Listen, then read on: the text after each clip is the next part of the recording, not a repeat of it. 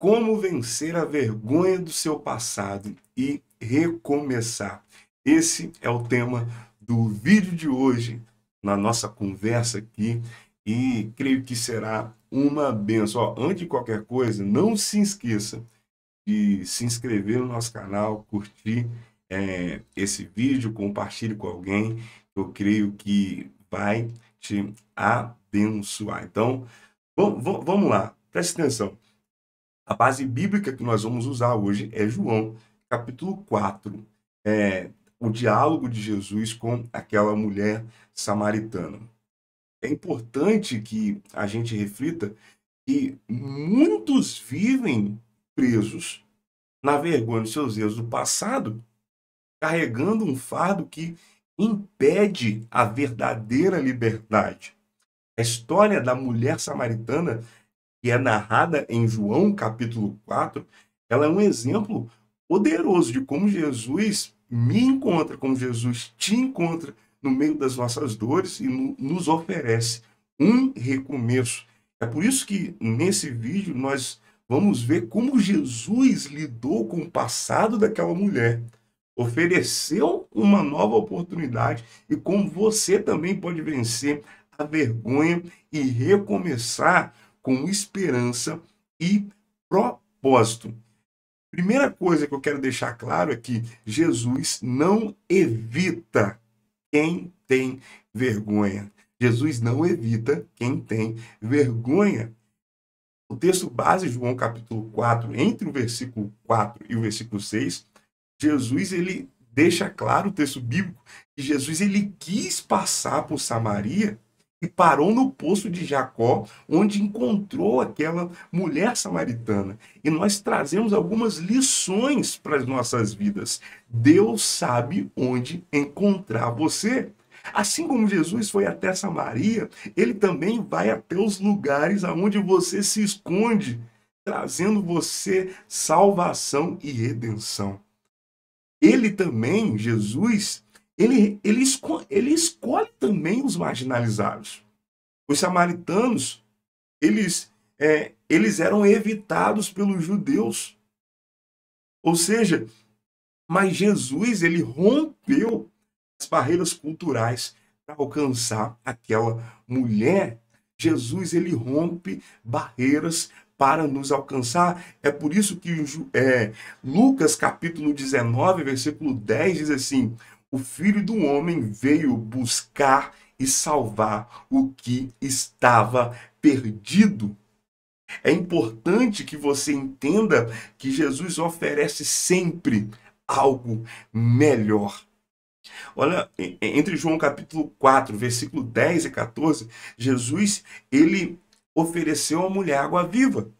Promete, ela queria água, mas Jesus prometeu água viva, algo que poderia saciar completamente a sede espiritual que aquela mulher tinha. E como que Jesus sacia a nossa sede espiritual? Primeiro, oferecendo perdão completo ele, ele não guarda os, os registros dos nossos erros. Jesus ele, ele, ele transforma aquilo que era erro. Quando você entrega a sua vida para Jesus, ele transforma aquilo que era erro em algo bom. Jesus ele transforma a sua vida, que era uma vida pecaminosa, em uma vida de bênção. Ele limpa o seu passado. Salmo de número 103, verso 12 diz assim: Quanto o Oriente está longe do Ocidente, sim, ele afasta de nós as nossas transgressões. Mas para isso, meu irmão, você tem que entregar a sua vida para Ele, para você ter o perdão completo. Como que Jesus sacia nossa sede espiritual? Dando um propósito de vida. Jesus transforma a vergonha em um testemunho poderoso. Romanos capítulo 8, versículo 28 diz assim: Deus trabalha em todas as coisas para, os bem, para o bem daqueles que o amam. Jesus ele dá um propósito de vida. Jesus transforma a vergonha em algo poderoso. Ele te dá um propósito. Quando como que Jesus sacia a nossa sede espiritual? Fornecendo satisfação, a satisfação verdadeira. O poço em que as pessoas buscam preencher com coisas temporais não pode satisfazer, trazer paz duradoura. Só Jesus pode trazer uma paz duradoura.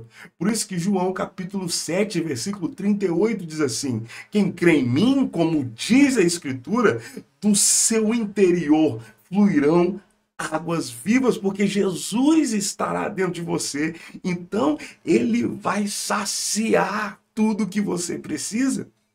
Quando nós olhamos para esse tema de como vencer a vergonha do seu passado e recomeçar, outro ponto que é importante a gente destacar é que você precisa enfrentar o seu passado com verdade.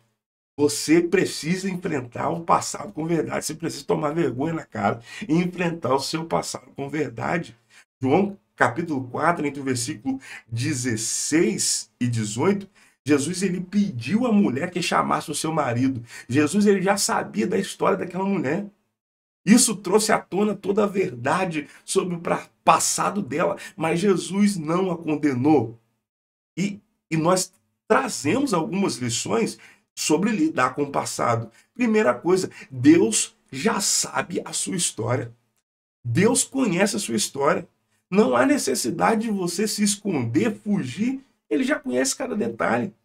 Hebreus capítulo 4, versículo 13 diz assim: Nada em toda a criação está oculto aos olhos de Deus. Deus já sabe de tudo. Para que você quer se esconder? Adianta alguma coisa? Não adianta nada.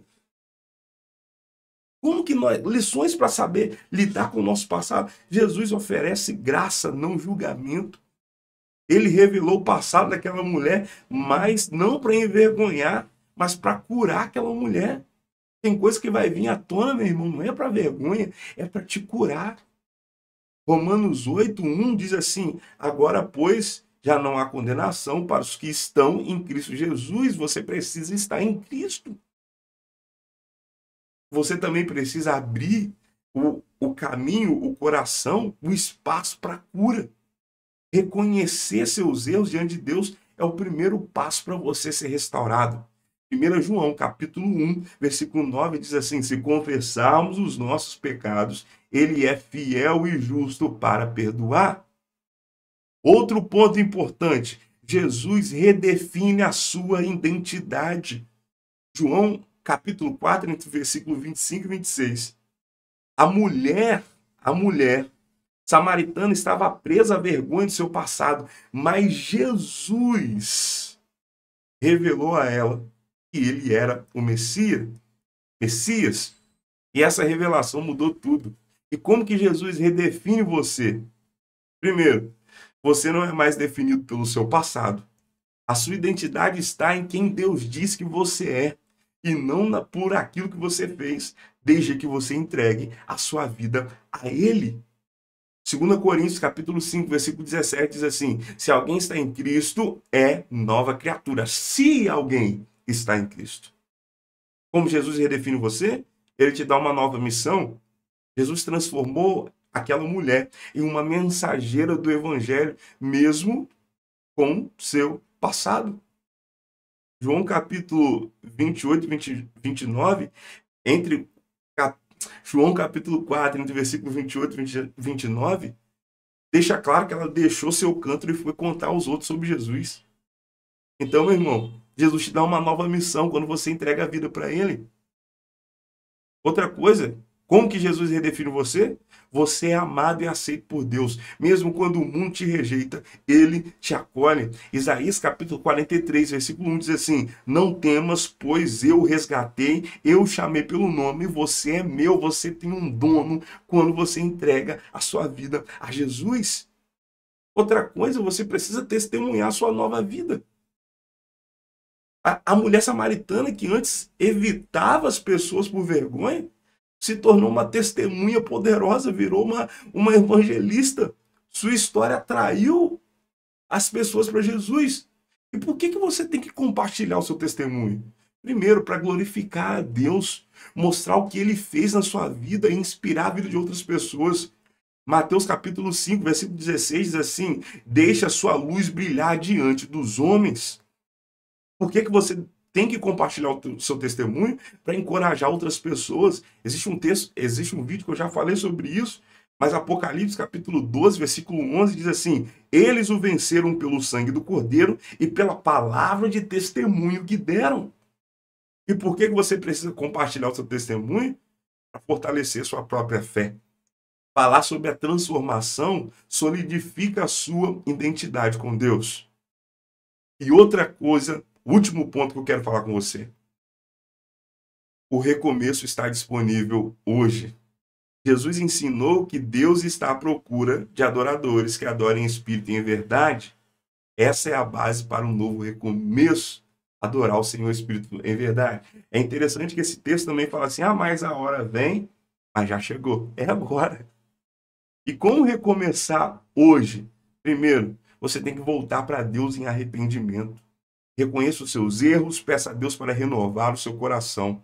Joel capítulo 2, versículo 13 diz assim: rasguem o coração e não as suas roupas, voltem para o Senhor. Você tem que estar com o coração aberto diante de Deus. Como recomeçar a partir de hoje? Receba o perdão e a graça. Lembre-se de que Jesus pagou seus pecados na cruz. Efésios capítulo 1, versículo 7 diz assim: Nele temos a redenção, o perdão dos pecados, conforme as riquezas da graça de Deus como recomeçar a partir de hoje, construa uma nova vida com Deus.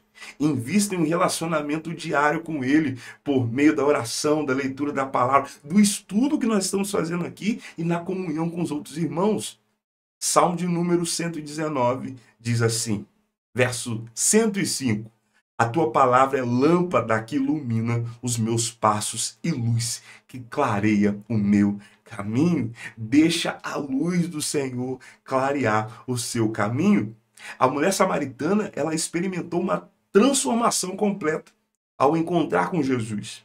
Ela deixou para trás a vergonha, deixou para trás passado e começou uma nova vida como uma mensageira do amor de Deus. E a pergunta que eu deixo para sua reflexão é hoje, hoje é: você está disposto a deixar Jesus redefinir a sua história e iniciar um novo capítulo em sua vida? Você está disposto? Então você já sabe o que você tem que fazer. Você já sabe que você tem que deixar o passado de lado, a vergonha de lado, porque Jesus tem um novo recomeço para você. Se esse vídeo te abençoou, curta, se inscreva, comente, compartilhe com alguém. Que Deus te abençoe.